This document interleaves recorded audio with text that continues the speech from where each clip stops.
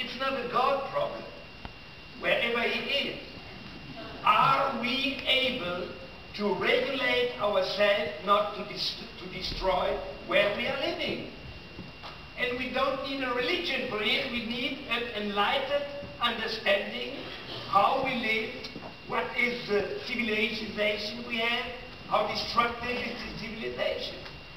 So for me to answer you, I always continue to